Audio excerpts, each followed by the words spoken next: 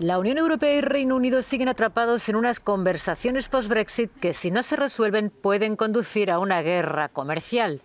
Y las empresas de Irlanda del Norte se sienten atrapadas en medio de esta batalla.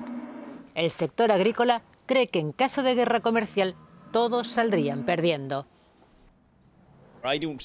No veo ningún ganador para la guerra comercial. Esto no quiere decir que no vaya a suceder, pero quien inicie esta guerra comercial será muy mal visto.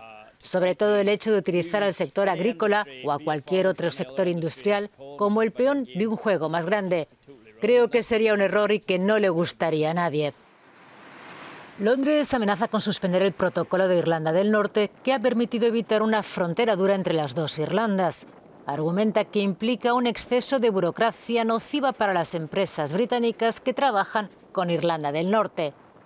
En Bruselas están dispuestos a responder con sanciones comerciales y en medio de esta tensión, muchas empresas de Irlanda del Norte afirman que su posición única representa una gran oportunidad.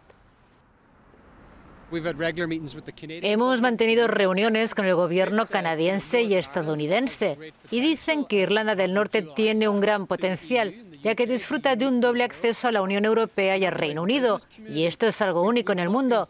Por eso, como empresarios, lo que decimos al gobierno británico es alcancemos un acuerdo con la Unión Europea y hagamos que funcione. Irlanda del Norte está a duras penas emergiendo de un conflicto de 30 años que terminó con el acuerdo de paz del Viernes Santo, un proceso que el protocolo trata de proteger. Pero muchos miembros de la comunidad unionista creen que el acuerdo daña su identidad británica y como resultado se han recrudecido las tensiones comunitarias entre católicos y protestantes.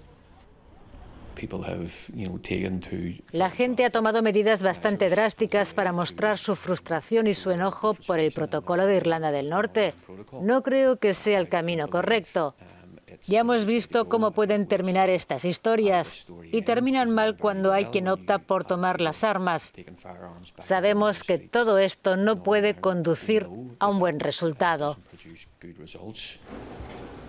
Bruselas ha aceptado reducir la burocracia, pero se niega a renunciar al papel del Tribunal de Justicia de la Unión Europea como árbitro de los conflictos, una exigencia de Londres que no pasa en la capital comunitaria. Mientras las empresas de Irlanda del Norte siguen operando en medio de una gran incertidumbre que les impide proyectarse en el largo plazo.